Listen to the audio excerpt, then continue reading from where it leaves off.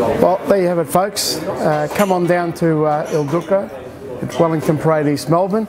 And rest assured, you'll be made most welcome.